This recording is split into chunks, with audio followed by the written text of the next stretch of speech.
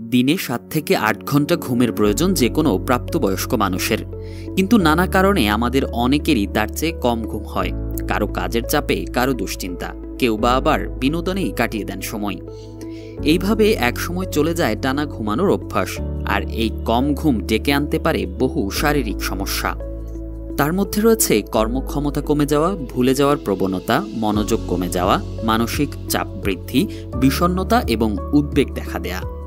এছাড়াও সকালে ঘুম থেকে উঠতে সমস্যা হওয়া অথবা খিটখিটে মেজাজ নিয়ে ঘুম থেকে ওঠা তো রয়েছেই। একই সাথে সারাদিন ক্লান্তি ভাব থাকা, ওজন বৃদ্ধি ও স্থূলতা, ডায়াবেটিস নিয়ন্ত্রণহীন হয়ে যাওয়া, উচ্চ রক্তচাপ, উচ্চ কোলেস্টেরল, হৃদরোগ এবং স্ট্রোকের ঝুঁকি বেড়ে যাওয়া সহ আরও অনেক সমস্যা বাড়তে পারে কম ঘুম হলে। অনেকেই ঘুমের ঘাটতি পূরণ করার চেষ্টা করেন বারবার ঘুমিয়ে।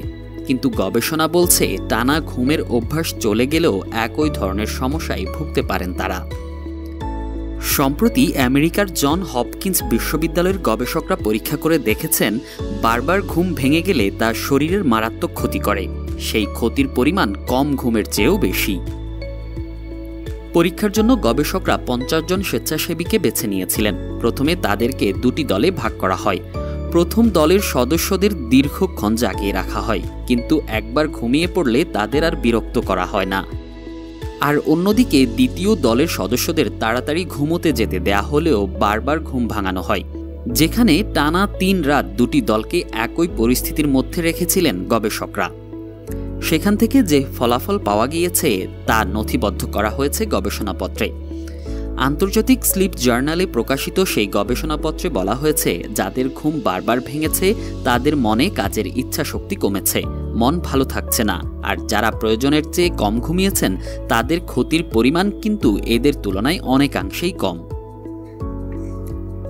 আর তাই ভালো এবং স্বাস্থ্যসম্মত ঘুম পেতে কিছু পদক্ষেপ নেওয়া যেতেই পারে। তার মধ্যে সর্বপ্রথম ঘুমের সমস্যা নির্ণয় করতে হবে।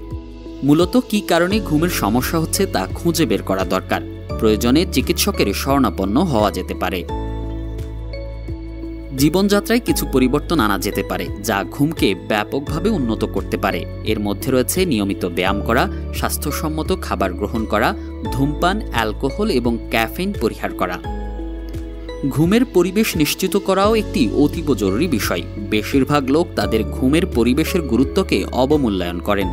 যদিও প্রত্যেকেরই নিজস্ব পছন্দ রয়েছে। মানুষ সাধারণত অন্ধকার, শান্ত, আরামদায়ক পরিবেশে ঘুমাতে পছন্দ করেন। ঘুমাতে যাওয়ার পূর্বে মোবাইল ফোন ও অন্যান্য ইলেকট্রনিক ডিভাইস ব্যবহার পরিহার করা প্রয়োজন। এক গবেষণায় দেখা গেছে, ঘুমের পূর্বে মোবাইল ফোন ব্যবহার ঘুমের ব্যাপক ব্যাঘাত ঘটায়।